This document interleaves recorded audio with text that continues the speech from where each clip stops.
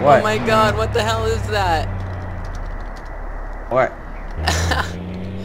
oh, there's. I just drove by like this uh, flatbed truck, like the DFT, uh, whatever, and uh, there was a fucking cow on the back. I don't know why.